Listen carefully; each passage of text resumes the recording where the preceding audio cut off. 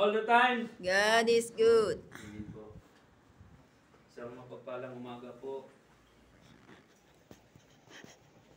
Praise, praise, hallelujah. Isang mapagpalang umaga po sa bawat isa. Amen. Kumusta po ang bawat isa? Amen. Lord. Blessed po ba tayo? Amen. Amen. Praise God. Hallelujah. Tunay nga na salamat sa Diyos. Ah, ah.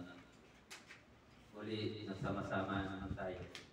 Bagamat may mga kapatid tayong wala dito, purihin po ang Panginoong Isus.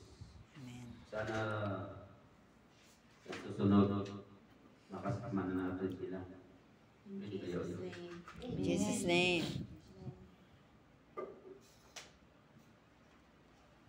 Amen po.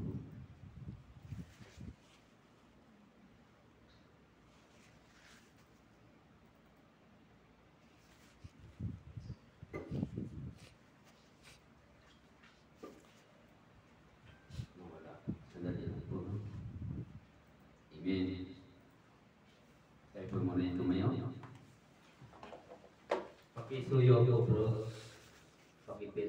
Sa ano. John 4, chapter 4, verse 23 and 24. John. John 4, chapter 4. John chapter 4, verse 23 and 24. English lang. Tagalog po muna.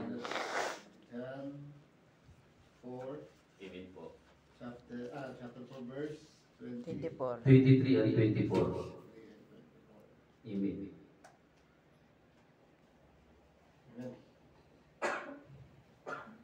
Basahin po muna natin kapatid bago tayo manalangin. One, two, three. Datapwat, dumarating ang oras at ngayon nga, nasasabayin ng mga tunay na mananamba ang Ama sa Espiritu at katotohanan, sapagkat hinahanap ng Ama ang mga gayon na maging mananamba sa Kanya. Ang Diyos ay Espiritu at ang mga sa Kanya ay nagsisisamba ay kanilang magsisamba sa Espiritu at sa katotohanan. Tayo manalangin. Kilang Diyos, salamat Sa po. Lord. Salamat po sa umagang ito at higit sa lahat, salamat sa isang malaking, malaking, malaking pribileyo na binigay mo sa umagang ito. Na ikaw ay aming mapapurihan, ikaw ay aming itataas, ikaw ay aming madakila at sambahin sa umagang ito. Lord, hinihiling namin ang kapangyarihan ng anong Espiritu. Lord, touch the heart of each and everyone, Lord. Sa Lord. Ikaw po ang ma- ang magpapaunawa sa banal mong salita sa umagang ito. Tunay nga po, kilala mo ako. Alam mo ang kakayanan ko at alam mo na wala ako sa lahat. But use only me, Lord, as a blessing. Use only me as a channel of your blessing, Lord God. Lord, itago mo lang ako sa iyong likuran. At ikaw ang may hayag, ikaw ang may taas, Yes, ikaw ang mapaparangalan, at ikaw ang sambahin sa Espiritu at katotohanan. Salamat po, Ama, sa umagang ito. Salamat higit sa lahat sa buhay ng bawat isang narito. Yes, Sa mga nasumers, salamat din po, Lord, sa buhay ng bawat isa. I hope and I pray, Lord God, hindi aalis ang bawat isa sa umagang ito na hindi tangay-tangay ang nais mong iparating sa buhay ng bawat isa. Sapagkat ikaw ang Diyos na mabuti sa lahat ng oras. Kaya masalamat, salamat, salamat, salamat sa salita mong mayayat sa Lord. Glory, glory, and honor and praise be to you alone. In Jesus' mighty name, through the guidance and the power of the Holy Spirit. Amen. Amen. Amen. Malapakan natin ang Diyos. Amen. Amen po. Makaupo muna tayo.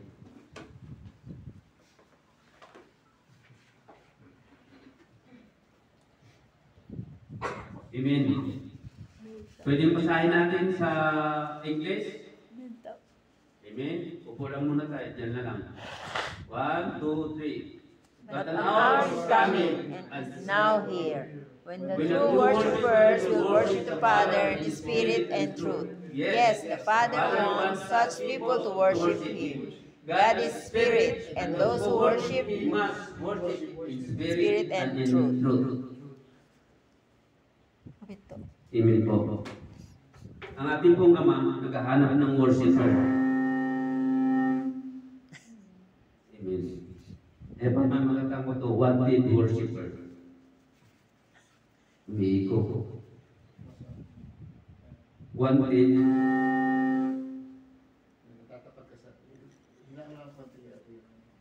wanted worshiper. Ito lang. Wala. wala. yan. Okay. Amen. Wanted worshiper. Ayun, praise God. Hallelujah. Amen po. Sabi dito sa introduction, the restoration or mobilizing situation will come through worship. God, God's wants worshiper. Ibig sabihin, ang ating pong Diyos nangangailangan ng worshiper. Amen? Amen. Amen po? Amen. Nag-worship po ba tayo sa ating Diyos? Amen. Kailangan ko ito. Kung paano natin tayo manalangin, why not sa ating panalangin? Pumalakpak tayo. Minsan, sabi nga nang nasa sa liputan, para silang mga buwang. Sumasayaw, pumapalakpak, nagigiyawan, umiiyak. Sa mga taong hindi nakakilala at hindi tinanggap ng Panginoong Hesus sa buhay, akala mo, baliw tayo.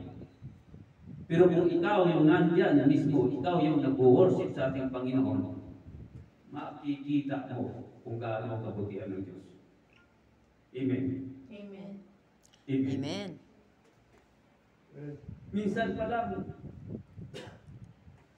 pakinig mo ka ng banal na Espiritu. Prayer pa lang, umiiyak ka na. Why? Amen. Amen.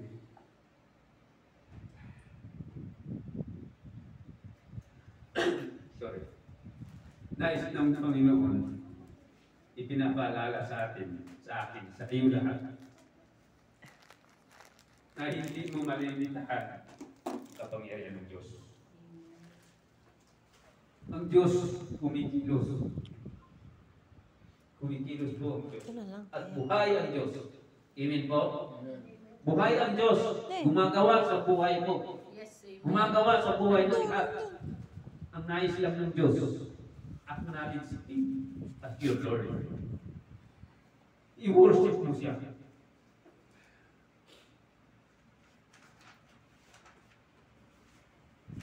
Amen. Amen. Ano yung hinahanap ng Lord dito? True worshiper. Amen. Thank you. True worshiper. Hinahanap ka, kapatid. At marami pang tao ang hinahanap. At totoong nag-worship sa Kanya. Amen? Amen. In this chapter, you will continue your study of worship, learning the definition of worship and related word. You will learn what it means to worship in spirit and in truth, and why we and why, when, and where to worship. You will learn the pattern of worship, how to prepare for worship, and the types and the types and the result of worship. In the next lesson, you will learn how to worship God as your worship and in spirit and in truth. Ito po, aralin po ito, purihin po ang Diyos. Bago po po isa tayo. Ito po yung pinagtupuyatan ko sa damam nung nandun pa po sa damam. Minsan natutulog ng alas 3, 2. Inabot kami ng ilang years. Po, 2, 3, hanggang 5 years na pag-aaral po. Pero purihin po ang Diyos. Ito nakikita. Akala ko nga noon,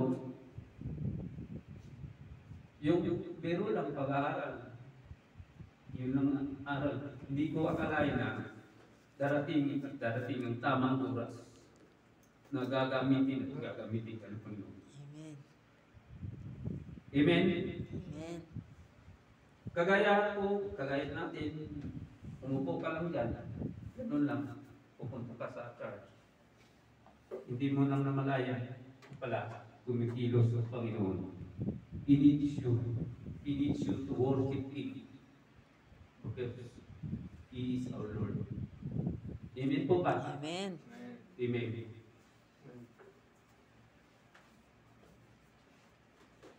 Definition. To, remo- to worship means to do reverence, to kiss, to do homage toward reverence. To kiss, to do reverence toward Ano ba sa Tagalog? Ang Diyos po kasi, madalas, hindi natin ginagalang. Tutukoy. Amen. Tutukoy. Minsan, pagkasama na natin ng mga kabarkada natin, minsan, pagkasama na natin sa trabaho, madalas, nakalimutan na natin ang Diyos. Speaking lang po sa katotohanan, kasi hindi lang naman kayo, kundi pati rin ako, nangyayari sa buhay natin ito. Nawawala ang reverence natin sa Diyos. Nawawala ang paggalang natin sa Diyos. Madalas. Lalo na pagdating sa mga pagsubok. Madalas, pagka hindi ka pa malalim sa Panginoon, ito'y katotohanan. Kapag hindi ka pa malalim na malalim sa Panginoon, pag ikaw subok, dinadaan ng pagsubok, madalas, hindi ka lumapit sa Panginoon. Kanino ka lumapit? Kay kuya, kay ate.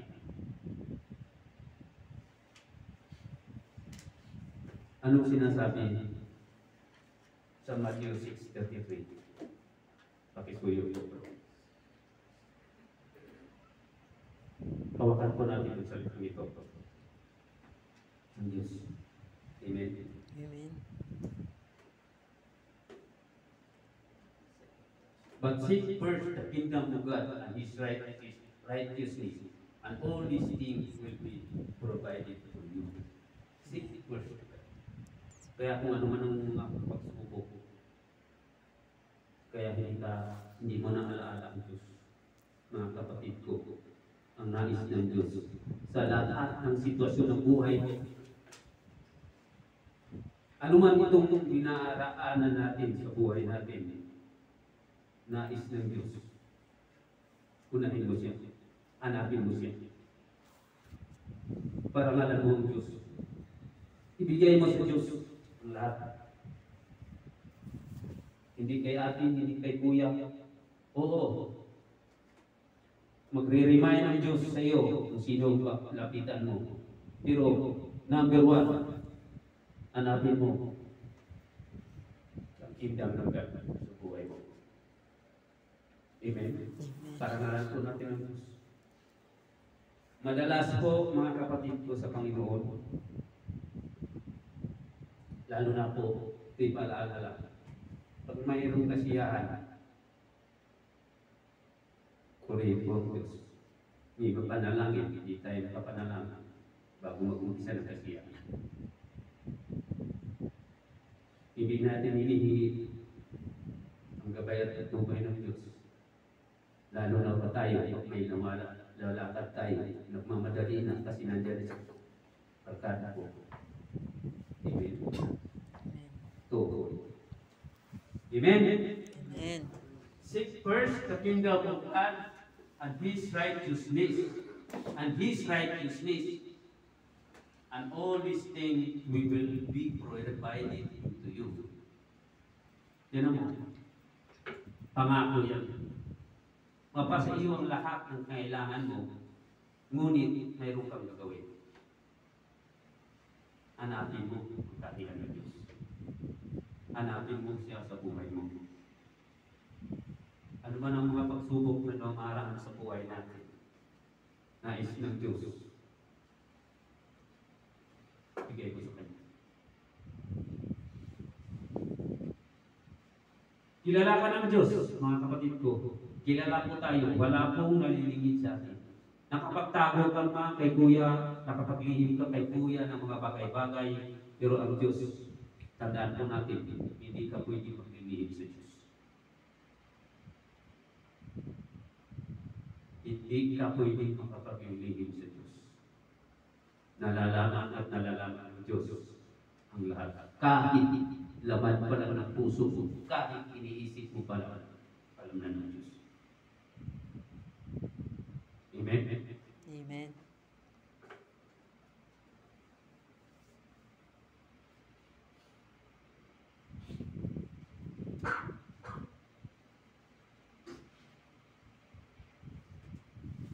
Worship is the acknowledgement of God, His nature, attribute, ways, and claims. Whether by giving praise or doing a deed of acknowledgement, the Christian service.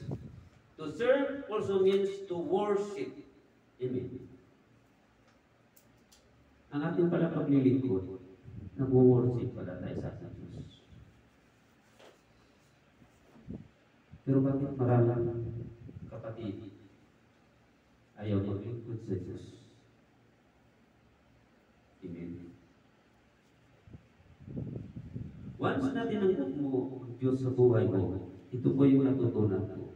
At ibabahagi ko ito. Ako po kasi, sa totoo po, hindi at hindi ko talaga gustong narito ako. Ito, sa totoo ko, sa buhay ko, hindi ako marunong, wala akong alam, at palagi akong sinasabi, mahihayin akong tao. Totoo po ito. Pero pag ang Diyos gagamitin ka, anong mandiya, nawawala po ito.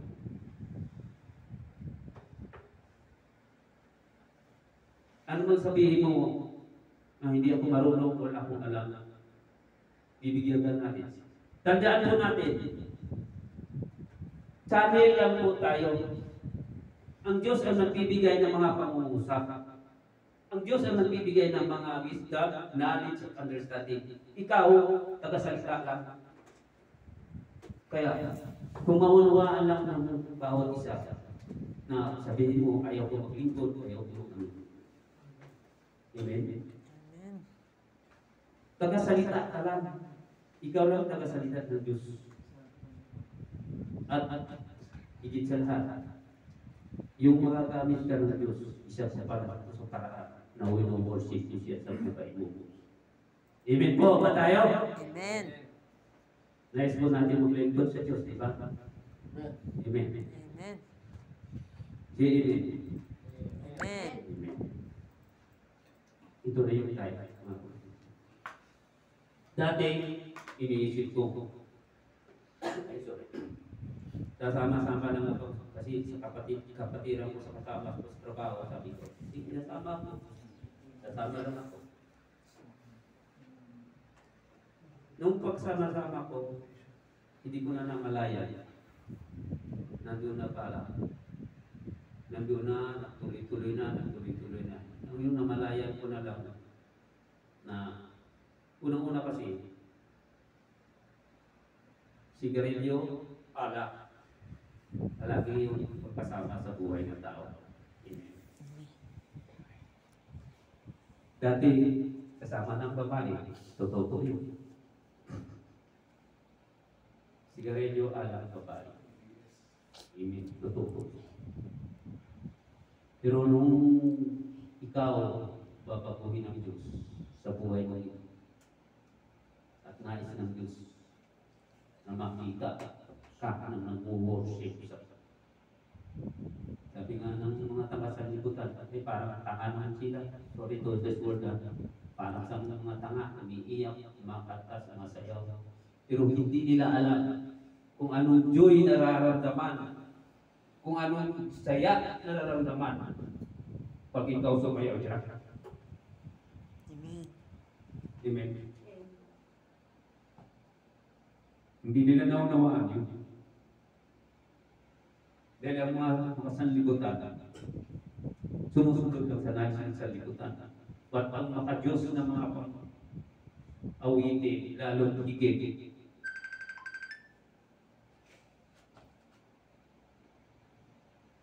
Amen. Kaya po mga kapatid, ang paglilingkod sa ating Panginoon, hindi siya tulong makaraan na pag-worship sa Lord. Amen? Amen.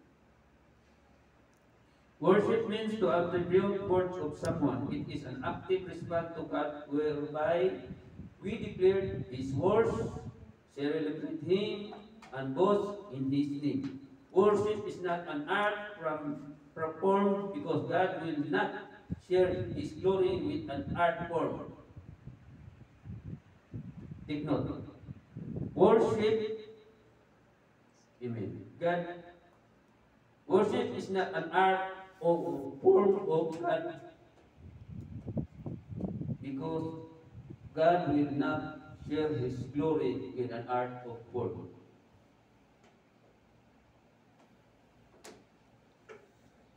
Kung ngayon pag-worship pala, kaartihan lang o nakikiano ka lang, hindi pala ito yung hinahanap ng Panginoon. Amen? Hinahanap ng Panginoon yung totoong worshiper. Hinahanap ng Panginoon yung totoong kikilalanin siya. Hindi lang sa sitwasyon na mayroon kang problema, kundi sa lahat ng oras o sa lahat ng sitwasyon, kikilanin mo siya bilang Diyos, bilang Hari, at bilang Panginoon mo sa buhay mo. Ito yung nais ng Panginoon. Ito yung mga tinatawag ng Panginoon na kailangan niya mag-worship. Amen. Amen. Amen po.